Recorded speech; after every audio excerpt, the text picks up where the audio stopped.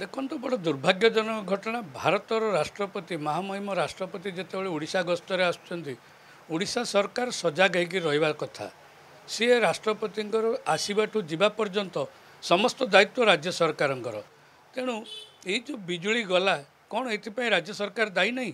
ଏଇ ଯେଉଁ ବିଜୁଳି ବିଭାଗ ସେ ରଖିଛନ୍ତି ଏଇ ଯେଉଁ ପ୍ରାଇଭେଟାଇଜେସନ୍ କରିଛନ୍ତି ଟାଟା ପାୱାରକୁ ଯେଉଁ ଦେଇଛନ୍ତି ତାକୁ ମନିଟରିଂ କରିବାର ଦାୟିତ୍ୱ କ'ଣ ରାଜ୍ୟ ସରକାରଙ୍କର ନାହିଁ?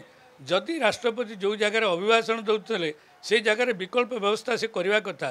ଯେମିତିକି କୌଣସି ଜାଗା ଯେମିତି ଆପଣଙ୍କର ହସ୍ପିଟାଲରେ ଯେଉଁ ବିଦ୍ୟୁତ ବିଭାଗ ଯେଉଁ ଲାଇନ୍ ଦେଉଛି ଏମର୍ଜେନ୍ସି ୱାର୍ଡ଼ରେ ସାରା ଜିଲ୍ଲାରେ ଆପଣଙ୍କର କରେଣ୍ଟ ଗଲେ ମଧ୍ୟ ଗୋଟେ ସ୍ପେଶାଲ ଲାଇନ୍ ସେଇଟା ରହେ ଏବଂ ସେଇଠି କରେଣ୍ଟ ଥାଏ ସଦାବେଳେ। ବର୍ଷ ସାରା କରେଣ୍ଟ ରହେ।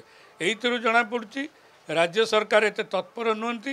ଏଇଟା ରାଜ୍ୟ ସରକାରଙ୍କର ଖାମଖିଆଲ ନୀତି ଯୋଗୁଁ ଆଜି ଓଡ଼ିଶା ରାଜ୍ୟ ସରକାରଙ୍କ ପାଇଁ ସାରା ଭାରତବର୍ଷରେ ବଦନାମ ହେଇଛି। କାରଣ ମହାମହିମ ରାଷ୍ଟ୍ରପତି ଯେତେବେଳେ ଅଭିଭାଷଣ ଦେଉଛନ୍ତି ମହାମହିମଙ୍କୁ ଏଇଟା ଗୋଟେ ଅପମାନ ସୂଚକ ହେଲା ଏହା ଓଡ଼ିଶା ପାଇଁ ଏକ ଦୁର୍ଭାଗ୍ୟଜନକ ଘଟଣା। ତେଣୁ ମୋର ରାଜ୍ୟ ସରକାରଙ୍କୁ ଅନୁରୋଧ ଅନ୍ତତଃ ପକ୍ଷେ ଏଇଥିପାଇଁ ଯେଉଁମାନେ ଦାୟୀ ତା ଉପରେ ଏକ ତଦନ୍ତ କରନ୍ତୁ ଏବଂ ତାଙ୍କ ବିରୁଦ୍ଧରେ ଦୃଢ଼ କାର୍ଯ୍ୟାନୁଷ୍ଠାନ ଗ୍ରହଣ କରାଯାଉ। ସମସ୍ତ ବିଭାଗ ଏଥିପାଇଁ ଦାୟୀ ବିଭାଗୀୟ ମନ୍ତ୍ରୀ ମଧ୍ୟ ଏଥିପାଇଁ ଦାୟୀ ରାଜ୍ୟ ସରକାର ବି ଦାୟୀ।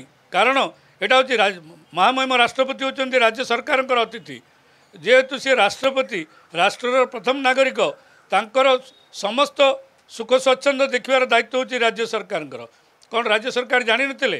ଯଦି ସେ ଅଭିଭାଷଣ ଦେଉଥିଲେ ତାହେଲେ ବିକଳ୍ପ ବ୍ୟବସ୍ଥା କାହିଁକି କରାଯାଇନଥିଲା ଯଦି କରେଣ୍ଟ ଯାଇଛି ସେ କରେଣ୍ଟ ଯେଉଁ ବିଜୁଳି ବିଭାଗକୁ ସେଠି ନିୟୋଜିତ କରିବାର ଥିଲା ଏବଂ ଏକ ସ୍ପେଶାଲ ଲାଇନ୍ ସେ ଜାଗାରେ ଦେବାର ଥିଲା ଯେଉଁଥିରେ କି କୌଣସି ସ୍ଥିତିରେ ମଧ୍ୟ ବିଜୁଳି ବିଭ୍ରାଟ ହେବା କଥା ନୁହଁ।